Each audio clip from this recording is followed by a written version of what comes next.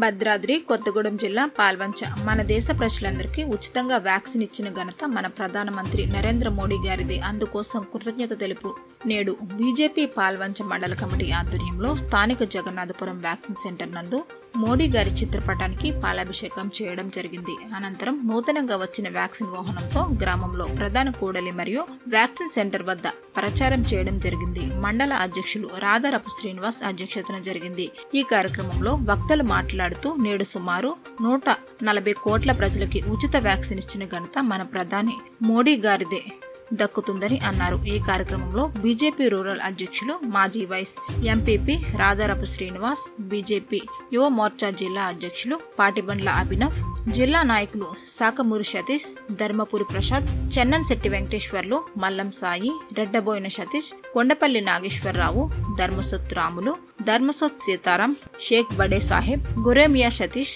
సంజాల Venkateswarlu Rambabu Santosh Banoth Pavan K Venkateswarlu తదితరులు పాల్గొన్నారు.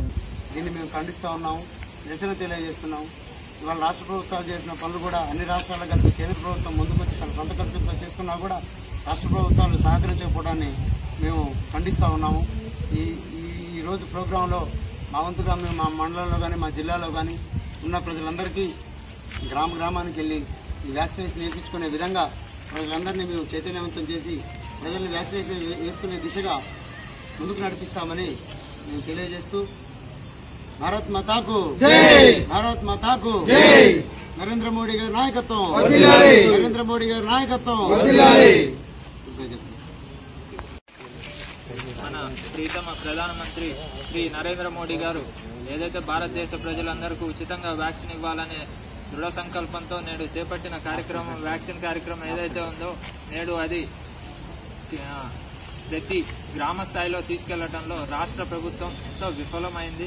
నేడు ఉచితంగా టీకా కేంద్రం పంపిస్తున్నా కూడా కనీసం రాష్ట్ర ప్రభుత్వం ఎక్కడ టీకాలు సరిగ్గా వేసే పరిస్థితి లేదు. మరియు వాళ్ళ యొక్క ఉన్న వైల్స్ మరియు డోసేజీలు కూడా అంతా వృధా చేస్తున్న రాష్ట్ర ప్రభుత్వం పరిస్థితి ఉంది. కనీసం ఉచిత టీకా ఇస్తున్న నరేంద్ర మోడీ గారు ఫోటో పెట్టడంలో కూడా నేడు రాష్ట్ర ప్రభుత్వం ఎంతో విఫలమైంది.